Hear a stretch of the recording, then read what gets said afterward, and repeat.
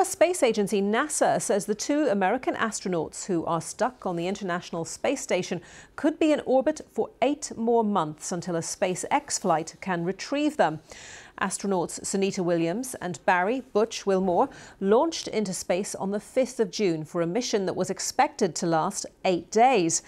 They've been in space for more than two months already. The spacecraft that took them there, Boeing's Starliner, has faced technical issues, which has halted their return to Earth. While NASA officials have been giving a teleconference on the astronauts stuck in space.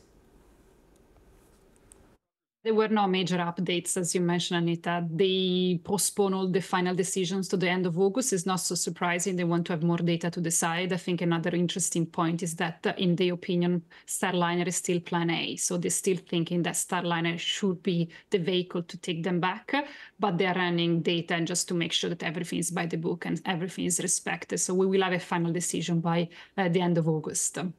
Some interesting detail about how the two of them are getting on. We're told they're making the best of the extra time they're having on the International Space Station.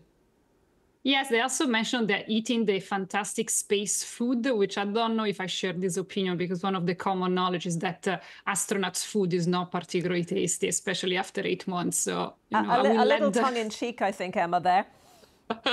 Just slightly. yeah, um, but um, I guess other astronauts have been commenting on this, haven't they? Um, while we've been waiting to hear more details from NASA and saying actually.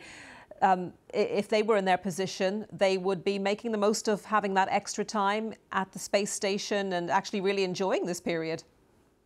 Well, it has to be pointed out, it's not something that happens to everyone to just spend eight months in space. It's still an incredible opportunity. And these uh, two astronauts, uh, they are uh, incredible veterans. They've been in space several times. They know what they're doing. So I suppose when this is your job and your job is so spectacular, like being an astronaut, you probably enjoy to stay a bit longer.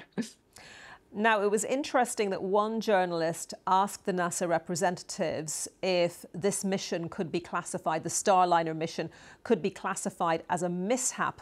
And NASA said the mission is not necessarily a mishap yet. Talk to us about the politics around this, because obviously NASA has invested a lot in this uh, partnership with Boeing. Yes, I mean, the mishap, failure things, it can get quite technical. And I agree, honestly, with the NASA answer. Like, let's not get into this type of technical details. It, it, it gets a bit delicate because they have to decide what is mishap, what is a failure. And one of the clear answer was like, being this one an experimental test flight, the definition might not apply like in a normal mission.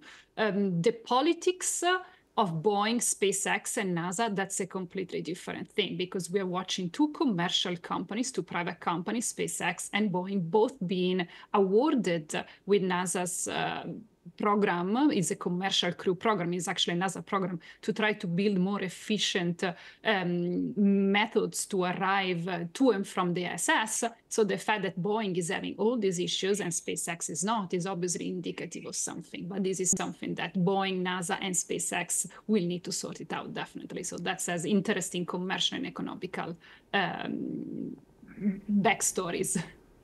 Dr. Emma Gatti, there, editor-in-chief of Space Watch and a former NASA scientist herself with her thoughts on that latest update from NASA on the two astronauts.